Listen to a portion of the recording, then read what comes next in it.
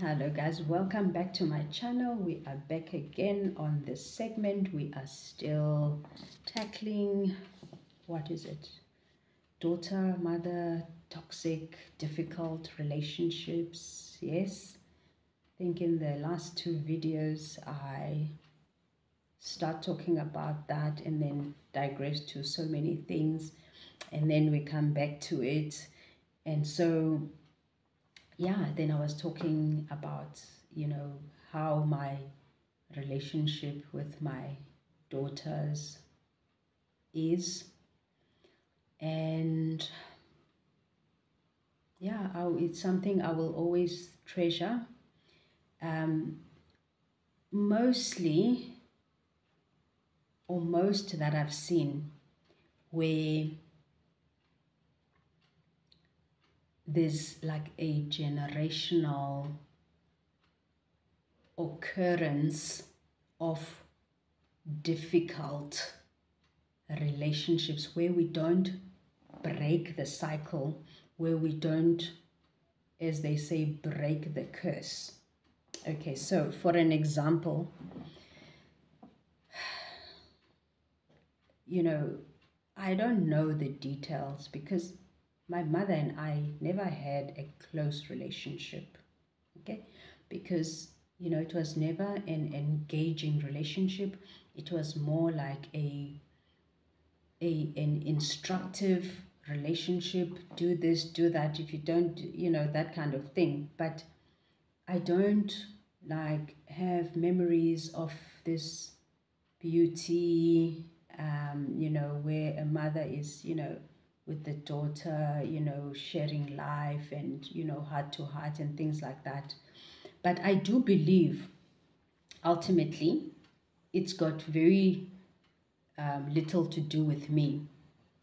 What I understand all the years about it as I come to learn, as I've been forced to learn about it, um, is that my mother claims to have had a very difficult relationship with her mother, my grandmother. Now, of course, nobody's going to dispute that because that is her experience, right? With her mother, okay? Although I can tell you that it's weird because that very mother is the one that I will say, you know, was a mother to me. Okay? I'm not saying this is not impossible because this is my mother's experience. Although, like for an example, I can say my grandmother had how many children? Um, six children. Okay? And yes, I have not interviewed them,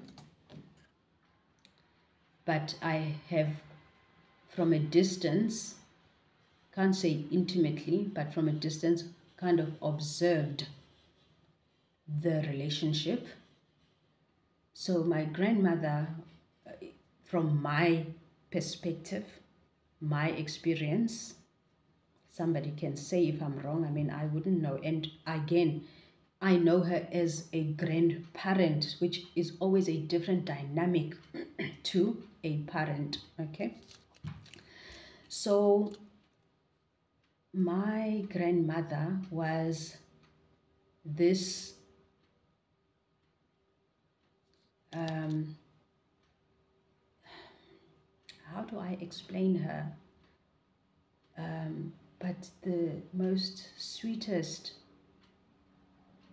respectful, um, caring, okay, caring, um,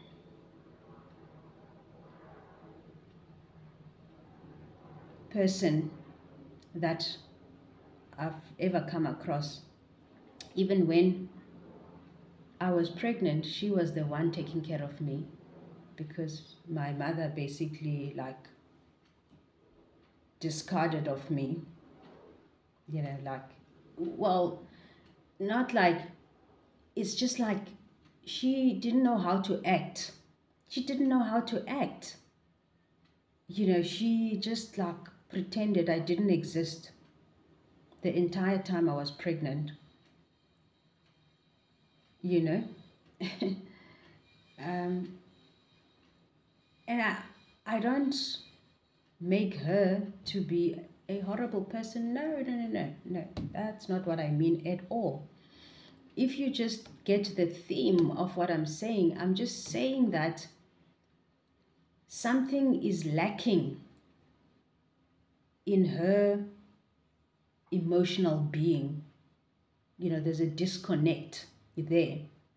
Now, as I say this, you know, I can contextualize it academically, you know, to say, okay, now as you can see, I put it out and I'm like, okay, so I can see this is what happened. I think this is why she acts like this. Okay. But at the end of the day, I don't care. Do, do you get? I'll explain why I'm saying that. I'm saying at the end of the day, those things don't matter because at the end of the day, as I'm her child, I still demand her to be there for me emotionally. So it is not my job to heal her inner child. Do you understand what I'm saying? That is her job to do. And just because I understand that her inner child was wounded, it is not for me because I will be damaging myself if I have to say, oh, no shame, I understand. She is so horrible to me because, you know, she had a hard time. No, no, I may not do that because then I will be abusing myself when I do that. Sometimes I do have bouts of like saying, okay, I know who I'm dealing with, but no, I decided that no, no, no, let me not understand this thing because it's no excuse. How, when is she going to be forced to learn to mother? Yeah? I'm not here to mother you because now you are giving me the job to mother you because now I have to feel sorry for you. No, no, no. It's not my job to do that. Your job is to be my mother, and that is to love me, and that is to support me, and not the other way around. So you have toppled the roles because now you make me a mother. I cannot play that role for you. It's not fair on any child. Okay, so, and hence I had to disengage. I had to disengage with my mother because it was going to be hurtful to my inner being, to my health, to my everything. Okay. So, as I was still saying, um, my grandmother had many other children and girl children, and she was, in my books anyway, maybe because obviously for me, I just longed for any kind of affection from a mother, right? So obviously, maybe people will say that, ah, you know, it's because obviously you know you were longing for that. Maybe that's it. But how i experienced my grandmother i mean i i have memories of my grandmother where you know I would go with her to town and you know we would she would buy apples for me and we would sit and have fish and chips and you know it was and and I don't have any such memories with my mother. I don't. No, that's a fact. I don't. the memories that are overarching my relationship with my mother are those of abuse, verbal abuse, physical abuse, um, emotional abuse. Okay, maybe let me explain because now I'm talking a lot of words and then people are going to be like, what is verbal abuse? You know, um, and and as I narrate the story, this is not to bash my mother. She is who she is, it's fine. But you know, this is now for me, for my healing, okay? It's my story, okay? And, and it's definitely not to bash her, but it's just stating facts as I narrate them from my point of view, from my experience. You know, you know, when I say verbal, I mean my mother was a shouty. She shouts, she swears. You, she swears, she shouts. No filter. You know, if she's around here, you just hear her shouting, shouting, shouting, shouting, shouting. I'm talking, I'm telling you about my experience. And she's consistent about it because she's still doing it today. She's still doing it today with her grandchildren. You know, she usually they say you mellow. Um, she's still obviously I can see she has mellowed a little, okay, but it's still there. I mean, I can see how, you know, my sister's child, you know, like she is so rattled by her, and, you know, my heart cringes, my heart goes out to that child because when that happens to her, it like literally re traumatizes me because I can remember, you know, when that was done to me because, you know, she she you know it's like a hostage situation when she's in the room because it's like ah you're not doing this right. Oh oh oh get get get I you know it's like oh it's it's like you can never do anything right. You you can never ever do anything right. She's never satisfied about anything and she's consistent about that. Um, even as i grew today today today um, nothing would be just good enough for her. You can schmooze her, you can send her flowers, you can um, give her money on hand, you can buy groceries, boots full. Never satisfied, never satisfied, no, never grateful, you know? And so unfortunately, maybe your mother is, you know, grateful. My grandmother was grateful. I mean, and so people like that, you love to do things for them.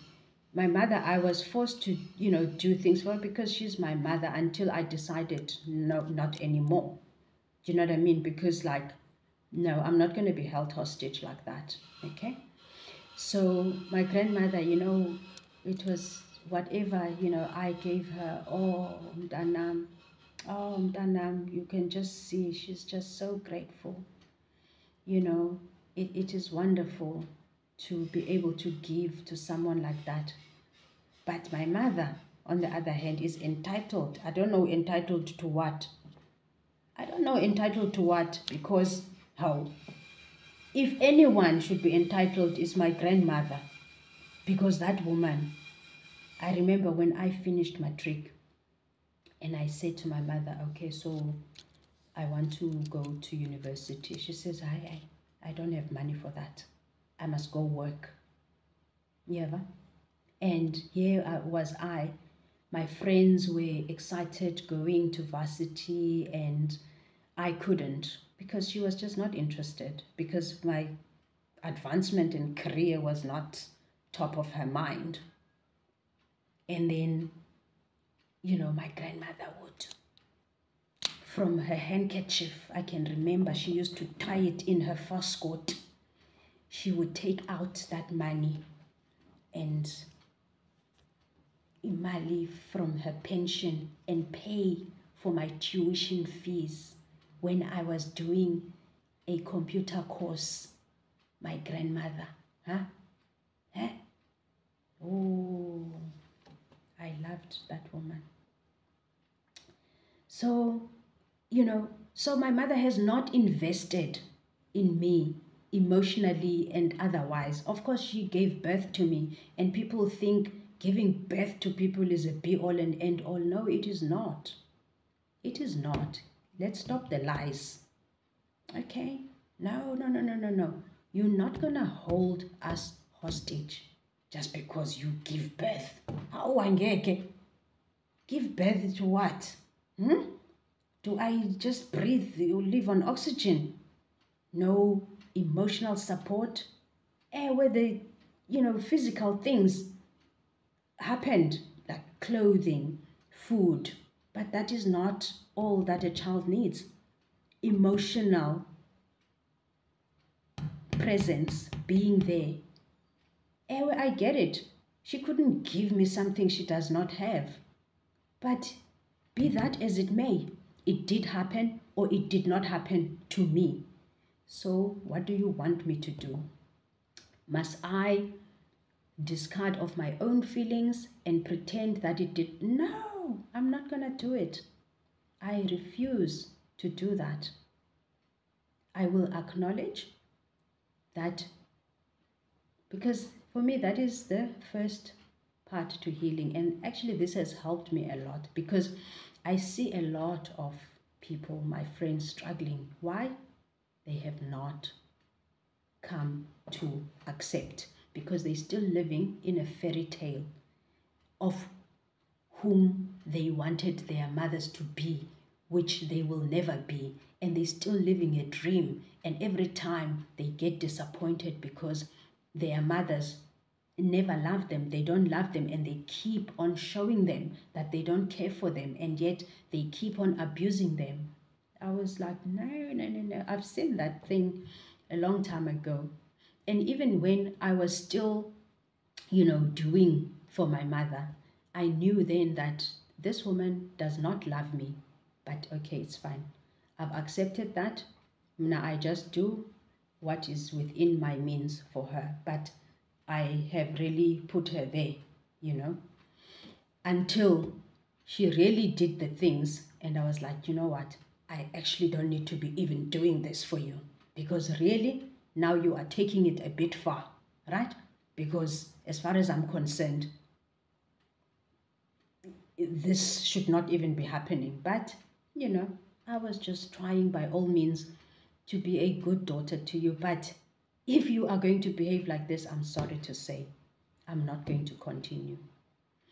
And yes, people can come for me. I don't care because you have your own issues with your own mothers that you you know because people it's so easy for them to come for somebody else and the reason why you would come for somebody else is because of your own issues that you have not dealt with because you're still living your own fairy tale because you know that your own relationship with your mother is not what you want it to be it's just like you just perpetrating a dream and a fairy tale, but it's very harmful to you.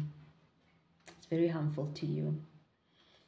I have, you know, other, can't call them friends, but acquaintances, people that I know, whom they had a very, oh my goodness, a very difficult, like this is the height, like seriously, my mother, in my books, of course, she's bad. Let's call it what it is, my experience.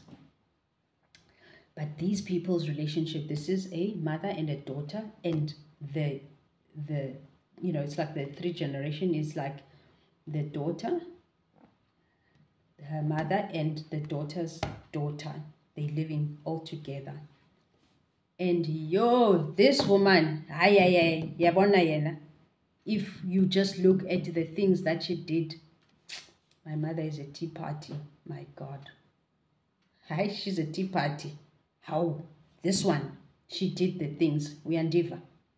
Yo, toxic, toxic. The lowest level or highest, I don't know. Lower than shark shit. Eh? Lower than shark shit. This one, I she did the things. Oh, this daughter, shame. Ah, Nkosiam. She would complain. The mother, the mother, the mother, the mother. Oh, this mother, this mother, this mother. I'll tell the story another day. But anyway, long story short, not getting into it. The mother died. Hmm? The mother died. And hmm, I can just imagine the trauma that these people are going through, you know, because you've never dealt with these issues. So important to call the thing what it is because when a person is dead, eh, there's nothing more you can do. There's nothing more you can do. I feel like, anyway, in my own way, I don't know if there is another way, but I mean, I think we'll see that when we get to it, you know, because in my understanding, nah, I have made peace, you know, with the fact that my mother never loved me. My mother does not love me because obviously a person, a mother,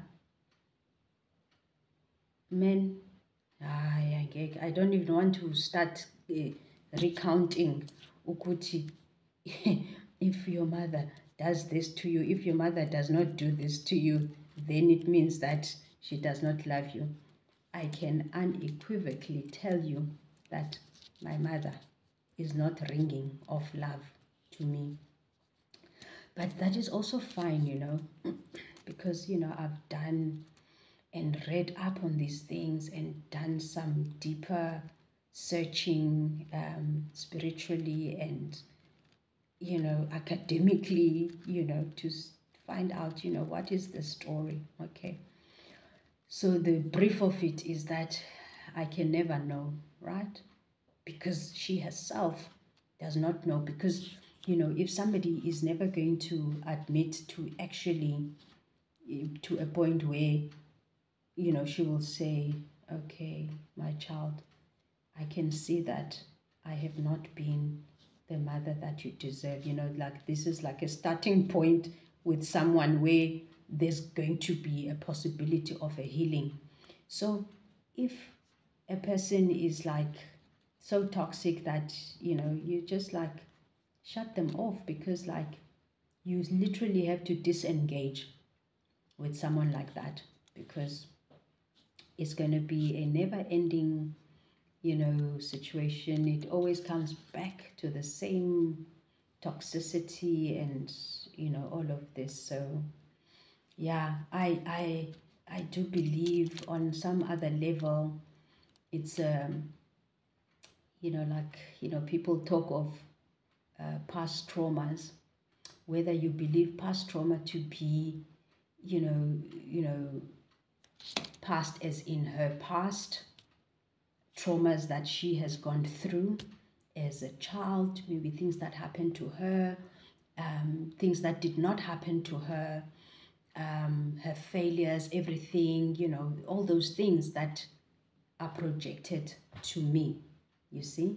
Because i do believe uh, some most most of what she's bringing onto me is her own stuff be that as it may she should not be doing that okay but the point is when people don't want to learn you see because she's not a caliber of a person that you you know you can teach them anything you know so you just they must stay wherever okay or are we talking past trauma in the sense of, you know, people believe that, you know, people have lived a life before this life? You see what I mean?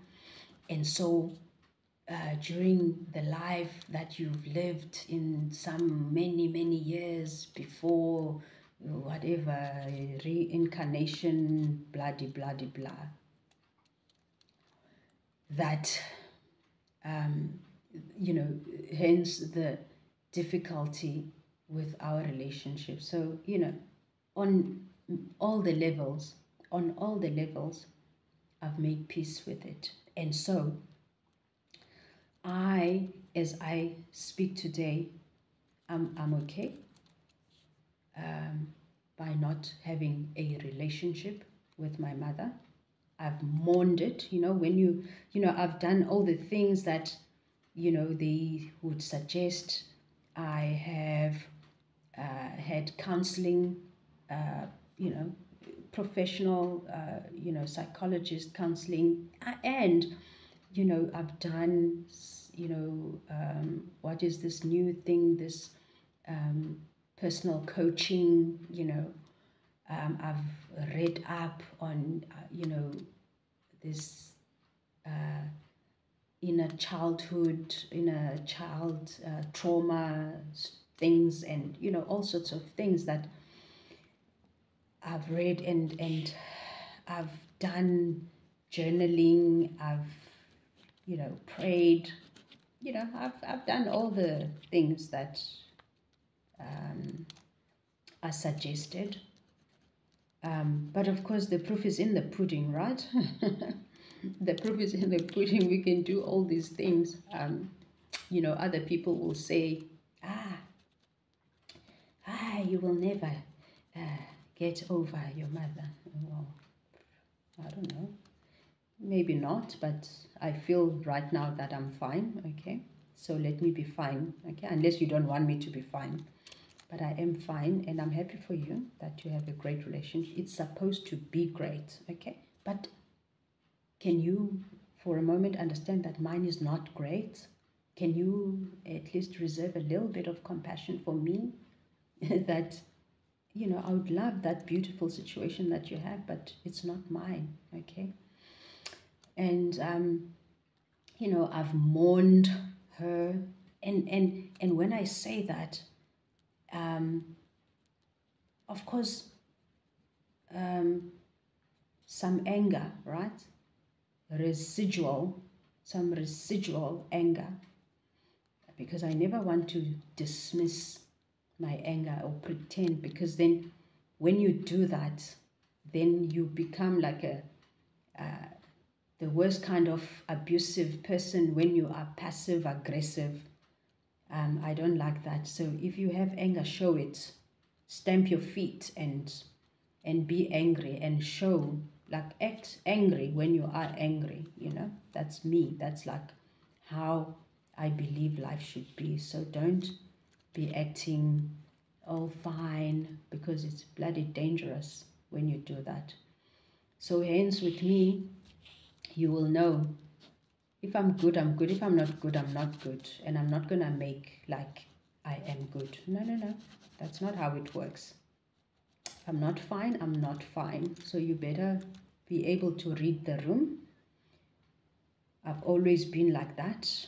But obviously, you know, in life, of course, we have to um, integrate and be flexible and you know so it's not a situation of oh so me i will always act the way i feel. No no no no not all the time. I mean there are countless of times where i have to hold back.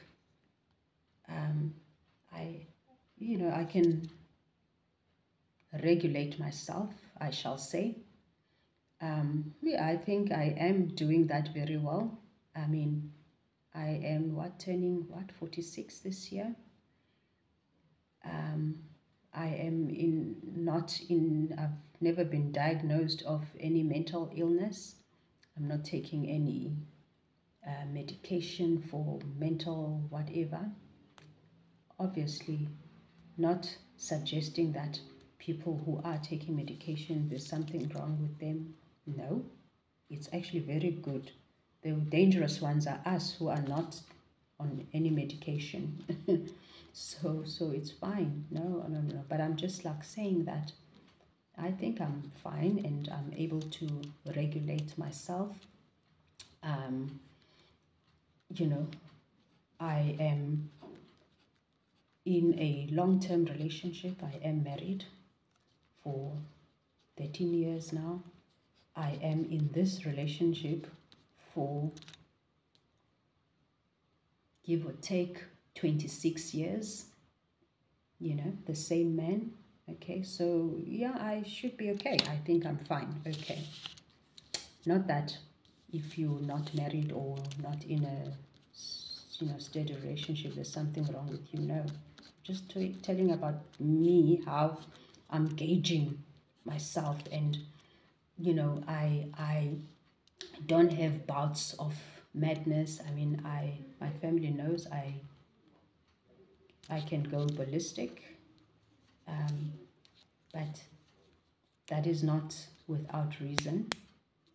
It would have been that I have spoken calmly, I have counseled, I have educated and done all the necessary things.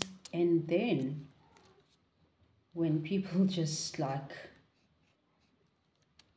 mm, you know, then, then I get mad, all right? Because I'm a human being, I have emotions, I have anger, although I regulate it, you know, mostly. But yeah. Um, so, so, so yeah. So yeah, guys, I am saying a lot and then I forget my trail of thought. But um, yes, what I was going to say is that I've even gotten to a point where I'm saying, you know what? As the relationship is so, oh well, there is no relationship now, that's for sure, with my mother. And for me, you know, a mother, you know, no, you tell me, a mother who's going to be like, fine to not talk to their daughter. I mean, is it my job? No, are you not the mother? It's not me. I'm not your mother. You are my mother. Okay? That's how it is. So if you are any mother and you know there's a problem with your daughter whom you value, uh, I'm sure you're going to be angry to a point. But as a mother, you're going to get off your high horse and say to your daughter, this madness needs to stop now. Okay? But I mean, the mother that I have, never. The arrogance, the. Oh, no, no, no, no, no, no, no. So, no, it's not my job to resuscitate that relationship. And if she ever, which I don't, I don't, I don't like, it, it, there's no like glimmer of hope, you know. And mostly, even myself, I can say, I don't want it anymore. I actually, I've put it to bed. I don't want it. But I'm saying there is no ways that you know I will ever allow for a relationship with her to happen without you see because for them that generation they believe that you know things can be messed up and then people must just be like oh, let's forget about it. I'm like, no, no, that's not how it works. We, we're not going to do that. We, we're not going to forget about it, okay? Because for me, that is a bloody landmine. I'm not walking on landmines. So, no, no, no. at your ripe age, if ever you felt any glimmer of wanting to ever do anything, it would have to be proper. Proper channels. I don't know what, but you're me, I'm not. I shame. No, I've seen. And I'm not gonna willingly go there again to be burnt. And people, you know, think I'm vile when I say today, I said, you know, if somebody told me my mother died tomorrow, honestly, this is the honest because you see, God knows my innermost thoughts. So it's pointless for me to be telling lies. Like it's such pointless thing. So I'd rather speak my truth. Whether you like it or you don't, it's not my business. I'm telling you what I'm feeling truthfully. And I'm saying that if I get that call tomorrow, because, okay, now remember this, ne? when your parent dies, uh, there's something that happens, obviously, to you that is not controlled by me or whatever, whatever, no matter how much kind of control I have over my emotions or whatever, whatever, whatever, there's something deeper, spiritual, you know, that I have no knowledge of that happens. But now I have no knowledge of that. But I'm saying to you, myself, I don't even think like I will shed a tear, but maybe if I do, like if I think about it, if I do shed a tear, it will be relief um, for myself, for her, for her. Do you know what? Because ultimately, you know, no matter what people believe, it is not pleasing for me to see her in that state that she's in because it's not healthy.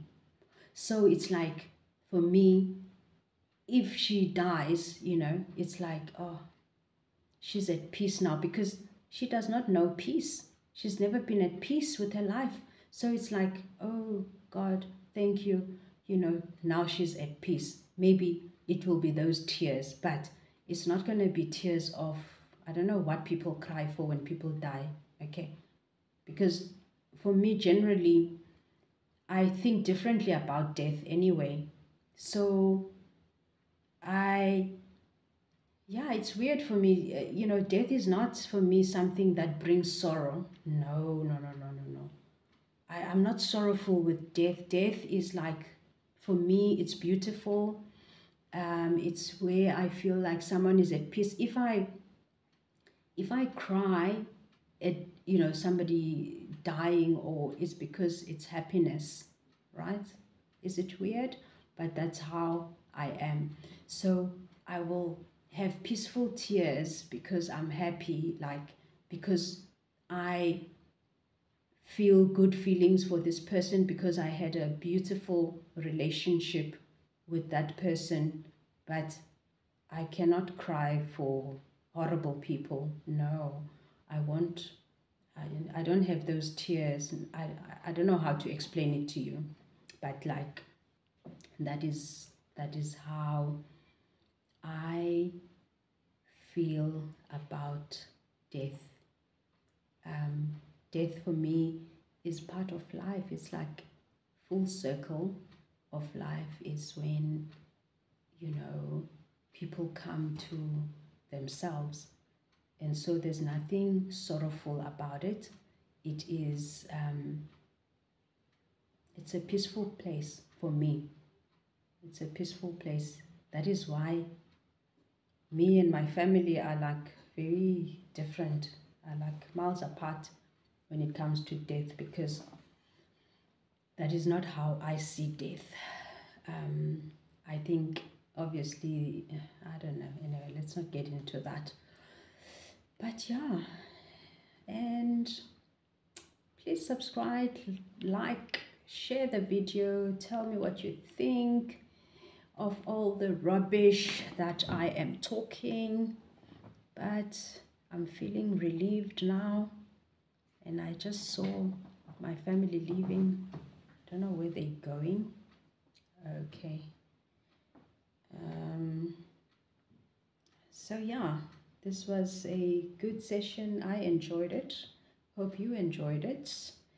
Please talk to me. Tell me what made sense to you uh, from what I'm saying. Um, am I losing my mind? no, I know I'm not. Okay, so I'm fine. Um, I'm just um, maybe different to you, but that's also good. I always say, oh, thank God you didn't make more people like me because then the world can't go around, you know. Um, so, yeah. Thank you guys. Have a fabulous day. Do subscribe to the channel. And thank you to all of you for listening and uh, have a fabulous day. Bye.